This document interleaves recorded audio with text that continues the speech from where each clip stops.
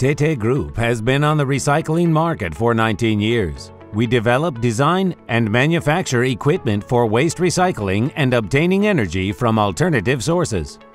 The Universal Waste Recycling Pyrolysis Plant, Fortan, processes various types of household and industrial solid, liquid, and paste-like wastes, used tires, rubber products, plastic waste, used oil, drill cuttings and oil sludge, oil-contaminated soils, oil products that lost their quality. Waste is recycled without prior preparation and pre-treatment. Retort is a cylindrical vessel of heat-resistant stainless steel with a lid that has a special closure for pressurization and excluding air from entering the retort. The retort volume is 2.6 cubic meters. The retort has a truncated cone bottom in order to prevent metal deformation at high temperatures. The pyrolysis module is a vertical furnace lined with refractory concrete with reinforcement and high temperature thermal insulation based on ceramic fiber. The module is equipped with an air-cooled solid fuel furnace for burning poor quality fuels and a gas burner for the possibility of using different types of fuels.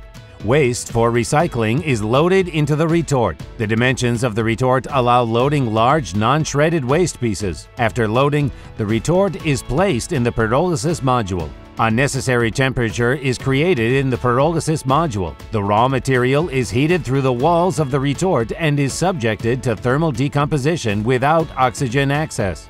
After the end of the process, the retort is removed from the module and it is left in the open air for cooling. The next retort is placed in the module. The set of the plant includes two retorts, which are changed one after the other without interruption. Carbon unloading from the cooled retort to the container is carried out by means of a hoisting crane. When the waste is heated and decomposed, a vapor gas mixture is formed inside the retort, which is piped to a condenser to cool and condense the pyrolysis vapor. Condensed liquid fuel oil is drained into a collector, wherefrom it is pumped into a storage tank. The liquid fuel oil can be used as an energy carrier in boiler houses for generation of electric power in steam generators and also it can be used for recycling into gasoline, kerosene, and diesel fractions. Non-condensable gases pass through the system of separators, where they are thoroughly cleaned from the liquid droplets, and then sent to a gas burner and used as fuel to support the process. It is important to note that additional fuel is needed only at the initial stage of the Fortan plant launch. Once the process is stabilized, the non-condensable gas produced during the raw material recycling is sent to the burner and used as fuel to maintain the plant. Maximum efficiency is achieved when two or more pyrolysis modules operate simultaneously, as the excess gas from the first module can be used to heat the second one. The modules are constantly at different stages of the process. The second module passes the stage of maximum gas generation at the moment when the first module requires the greatest fuel demand. Thus, there is no need for additional fuel.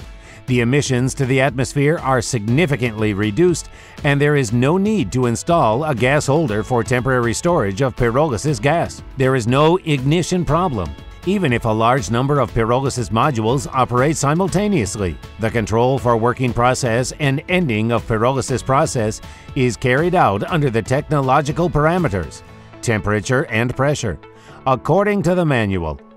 All technological parameters are monitored and controlled from the operator's control panel. The Fortan plant is equipped with an explosion-proof valve and the system of emergency gas relief, which, in the event of a malfunction, will exclude the possibility of damage to equipment and health of maintenance staff. The Fortan plants are designed as mobile units. The overall dimensions of the complex correspond to the dimensions of a 40-foot 1,219.2 centimeter container. The site for placing the equipment does not require long preparation and large-scale construction works. All connections in the design are flanged for operational reinstallation and installation on the site. The set of the plant includes a transportation stand. Standard version plants are designed to operate at ambient temperatures up to minus 40 degrees Celsius. Upon request, we produce special versions of Fortan plants that can work at temperatures up to minus 60 degrees Celsius. Fortan plants are durable, safe, easy to operate, and self maintained. More than 200 Fortan plants operate in 16 countries Australia, Argentina, Armenia, Belarus, Bulgaria, India, Kyrgyzstan, Moldova, Transnistria, the Russian Federation, Turkmenistan, Turkey, Ukraine, the Republic of South Africa, the Republic of Panama, and Thailand. The warranty is provided for the entire range of equipment. Our specialists provide equipment setup and staff training in any country around the world.